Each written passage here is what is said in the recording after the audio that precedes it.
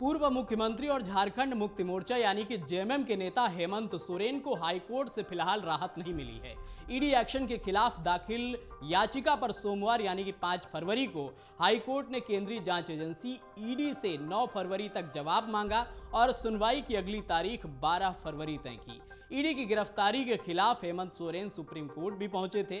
तब supreme court ने कहा कि आप पहले हाईकोर्ट जाएँ, शीर्ष अदालत ने कहा, हम सीधे सुप्रीम कोर्ट में दाखिल इस याचिका को नहीं सुन सकते हैं। याचिकाकर्ता हाईकोर्ट जाने को स्वतंत्र हैं। हमें बताया गया कि यही याचिका हाईकोर्ट में दाखिल हुई है, जो वहाँ लंबित है। इसके बाद हाईकोर्ट ने 5 फरवरी की तारीख सुनवाई के लिए तय की थी।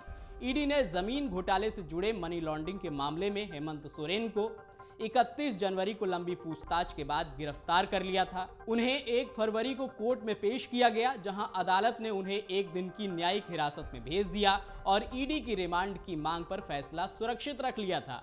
अगले दिन 2 फरवरी को कोर्ट ने उन्हें पाँच दिनों की ईडी हिरासत में भेज दिया था।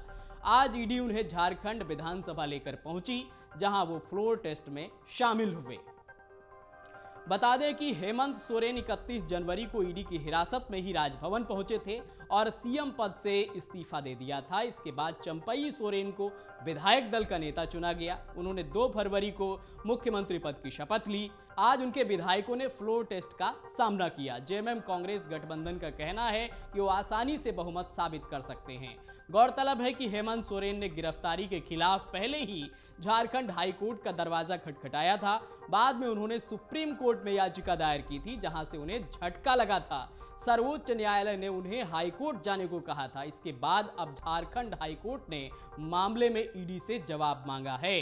इससे पहले सुप्रीम कोर्ट ने धन शोधन मामले में झारखंड के पूर्व मुख्यमंत्री हेमंत सोरेन की याचिका पर हस्तक्षेप करने से इनकार कर दिया। हेमंत सोरेन ने प्रवर्तन निदेशालय की ओर से की गई उनकी गिरफ्तारी को चुनौती दी थी। जस्टिस संजीव खन्ना, न्यायमूर्ति एम एम सुंदरेश और न्यायमूर्ति बेला एम त्रिवेदी की पीठ ने शुक्रवार को सोरेन की ओर से पेश वरिष्ठ अधिवक्ताओं कपिल सिब्बल और अभिषेक सिंघवी से हाईकोर्ट जाने को कहा था। इससे पहले ईडी ने बुधवार को मनी लॉन्ड्रिंग मामले में सात घंटे की पूछताछ के बाद झारखंड के सीएम हेमंत सोरेन को गिरफ़्तार कर लिया था। इससे पहले सोरेन को ईडी की हिरासत में राज्यपाल से मिलकर सीएम पद से इस्तीफा देना पड़ा था और अब हाईकोर्ट ने भी अभी फ़िलहाल कोई राहत हेमंत सोरेन को नहीं दी है।